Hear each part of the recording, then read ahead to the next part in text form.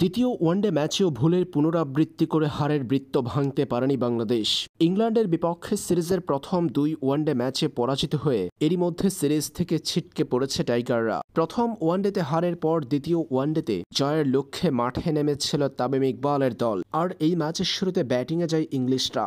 English ব্যাটারদের তাণ্ডবের মুখে কোন ঠাসা হয়ে পড়ে বাংলাদেশি বলাররা। শেষ পর্যন্ত পরাজয় নিশ্চিত হয় বাংলাদেশের। টাইগারদের এমন হারের পিছনে বেশ কয়েকটি উল্লেখযোগ্য কারণ রয়েছে, যার মধ্যে সবচেয়ে বড় ও প্রথম কারণটি হল সেঞ্চুরিয়ান জেসন রয়, আম্পায়ার স্কলে বেঁচে যাওয়া। আউট হওয়া রয়কে বাঁচিয়ে দিলেন আম্পায়ার। জীবন পাওয়া রয় বেঁচে গিয়েছেন ম্যাচের আঠাশতম ওভারে, যখন ইংল্যান্ডের ছিল তিন উইকেট হারিয়ে একশত একচল্লিশ রান। সাতাশি রানের ইনিংস খেলার পথে মেহেদি হাসান মিরাজ জাগিয়েছিলেন আউটের সম্ভাবনা, কিন্তু আম্পায়ার স্কলে সৌজন্যে বেঁচে গিয়েছেন ইংলিশ ওপেনার। মিরাজের ফুল লেংথের ডেলিভারি সুইপ করতে গিয়েছিলেন রয়। বল তার ব্যাট মিস করে আঘাত হানে প্যাডে।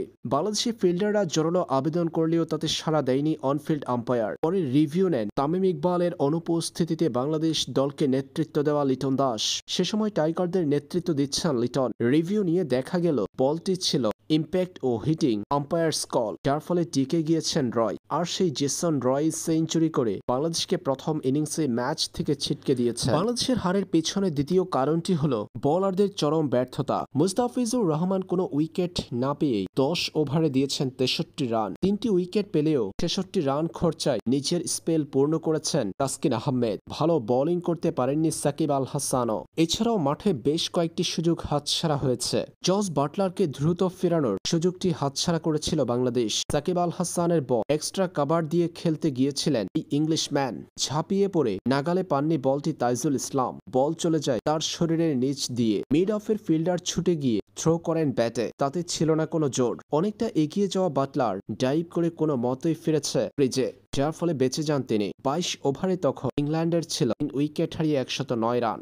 এছাড়াও টাইগারদের হারের পেছনে উল্লেখযোগ্য কারণ হল ব্যাটসম্যানদের চরম ব্যর্থতা। গত ম্যাচে হাফ সেঞ্চুরি করলেও এই ম্যাচে ব্যাটে রান পাননি নাজমুল শান্ত। প্রথম বলে আউট হয়েছেন দলের দুই টপ অর্ডার লিটন দাস ও নাজমুল শান্ত।